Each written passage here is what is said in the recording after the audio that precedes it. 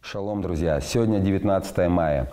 Я хочу с вами, с вами поделиться местом Писания, которое Господь положил мне на сердце. Это Псалом 111, 5 стих. «Добрый человек милует и взаймы дает. Он даст твердость словам своим на суде. Он вовек не поколеблется. В вечной памяти будет праведник. Не убоится худой молвы. Сердце его твердо, уповая на Господа.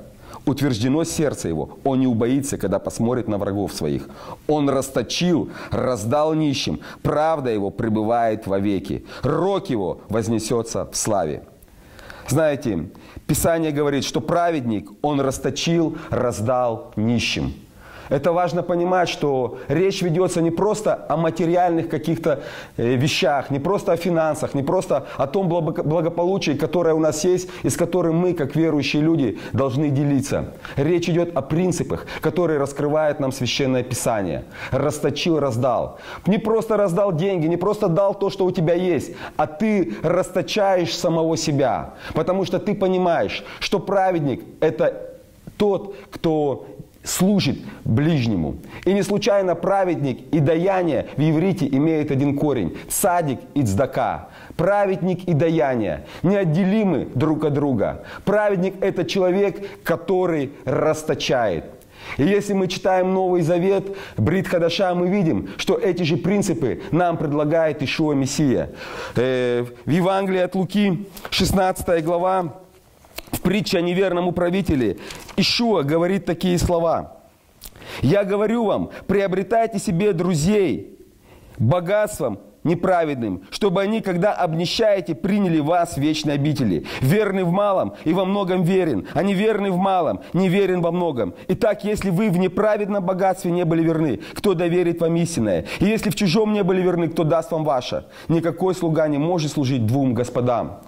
Это важно понимать, друзья, потому что Ишуа открывает нам принципы, которые сегодня Он ну, принес в этот мир. Он говорит нам, что приобретайте себе друзей богатством неправедным. Мы понимаем, что все, что есть на этой земле, оно неправедное, оно не настоящее, оно не истинное. И понимаем, что все ресурсы и возможности, которые Бог нам предоставил во владение, мы должны сегодня употреблять для того, чтобы эти источники, эти возможности, они работали на Царство Божие. У тебя есть машина, эта машина должна служить Господу. У тебя есть финансы, финансы, эти финансы должны служить Господу. У тебя есть дом, этот дом служить Господу должен. У тебя есть время, это время, которое должно быть посвящено Богу.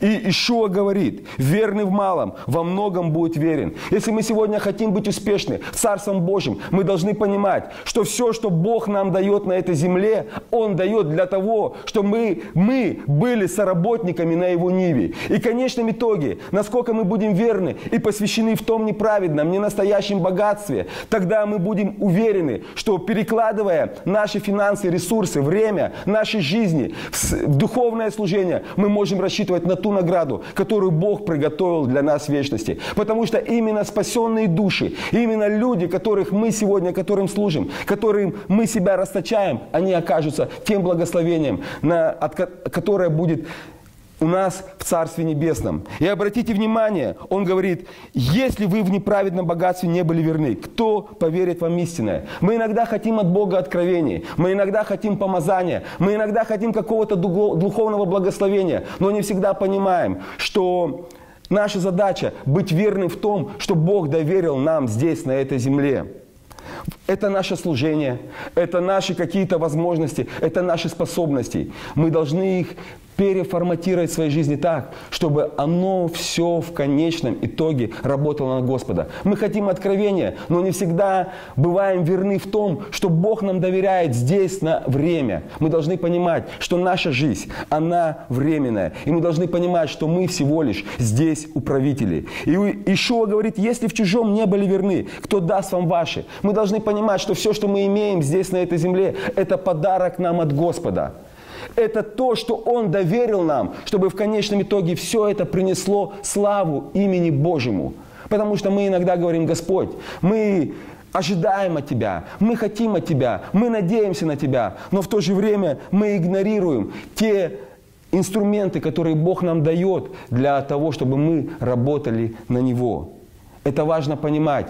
И этот принцип, который описывается э, в Евангелии от Луки в 16 главе о неверном управителе, он касается каждого из нас. Мы всего лишь слуги, мы всего лишь работники, которые работают на нашего царя. И мы должны понимать, что наша работа должна быть такой, чтобы через то, что мы делаем на этой земле, в конечном итоге все остались благодарны нашему Господину. И при этом позаботились о том, чтобы наша будущность, наша надежда, она действительно распространялась и ну, развивалась выше и дальше того нашего земного существования. Потому что в конечном итоге наша жизнь, она на небе. Наша жизнь и наше царство, оно на небе. Поэтому все, что у нас есть, мы сегодня должны использовать так, чтобы приобретать Божье благоволение. Чтобы каждый из нас, он услышал слова Ишуа и Мессии. Верный и добрый раб. Ты был верен в малом, поставлю тебя над многим. Это важно понимать.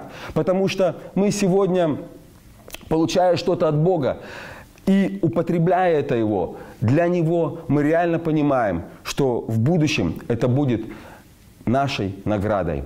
Я хочу сегодня помолиться за вас и благословить вас, чтобы вы понимали, что то, куда, то место, куда вас поставил Господь, оно в конечном итоге должно принести славу имени Ему. Неважно это, или работа, или ваше служение, или ваша семья, или, возможно, какие-то обстоятельства в вашей жизни. Вы должны из этих обстоятельств извлечь именно тот результат, который ожидает от нас Господь, чтобы все все, все, что мы приобретем на этой земле, в конечном итоге стало славой для нашего Господа. Дорогой Отец Небесный, я обращаюсь к Тебе во имя Ишуа Мессии. Я прошу Тебя, Дай нам сегодня мудрости и способности понимать, то то, что мы имеем здесь, в нашей земной жизни, оно дано нам для того, чтобы оно все работало на Твое Царство. Я прошу Тебя, Господь, помоги нам быть верными домоуправляющими, которые правильно распределяют те ресурсы, те финансы, то состояние духовное, ту нашу жизнь, которую Ты доверил нам, чтобы приобретать для Тебя новые души, новые души, новые души, новые спасенные души, которые в конечном итоге станут нашей наградой. Помоги нам через то, что мы сегодня имеем на этой земле, раздавая и расточая, формировать свой характер как праведника, который понимает, что он всего лишь временный, временный человек на этой земле, который пришел на эту землю, чтобы совершить то служение, которое Господь доверил ему, и уйти в Божье присутствие для того, чтобы получить Его награду. Я благодарю Тебя, Господь, и прошу, ободри, утешь сегодня тех людей, которые сегодня, понимая это, совершают тот труд, который Ты им доверил. Благословенно имя Твое во имя Ишуа Мессии. Аминь. Отче наш, сущий на небесах, да святится имя Твое, да придет Царствие Твое, да будет воля Твоя на земле, как на небе. Хлеб наш насущный, подавай нам на каждый день.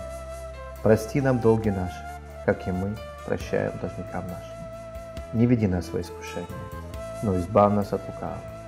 Ибо Твое есть царство, и сила, и слава во веки. Аминь.